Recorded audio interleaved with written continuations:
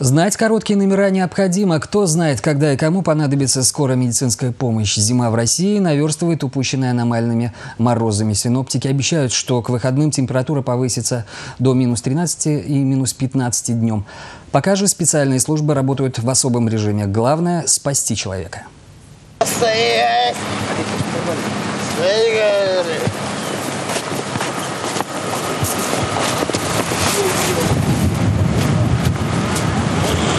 Мужчина благодарен полицейским. Говорит, подобрали, обогрели, напоили горячим чаем. Если бы не они, замерз бы. Такие морозы у патрульно-постовой службы особое распоряжение. Если подвыпившего нашли неподалеку от дома, сдать на руки родственникам. Если нет, отправить в больницу.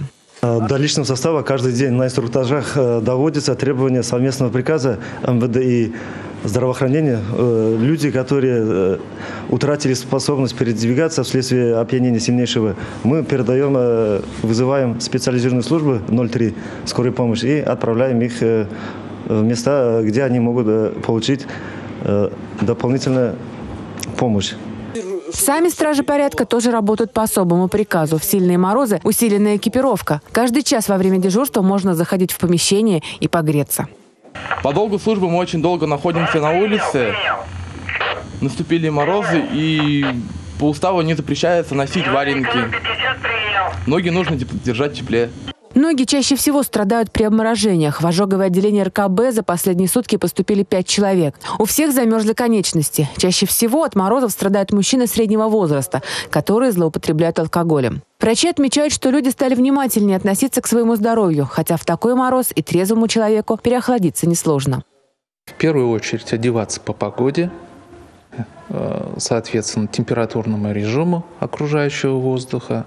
Конечно же, нужно одевать желательно непродуваемую одежду, ветр не пропускающую.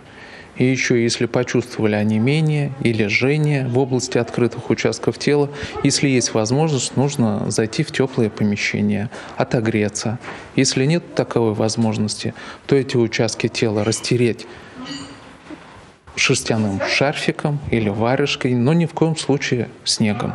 И ни в коем случае нельзя принимать алкоголь. Спиртное – дополнительный фактор, который способствует обморожению. Всего в Чувашии с начала года пять человек погибли из-за морозов. Татьяна Молокова, Регина Кубайкина, Андрей Спиридонов, Республика.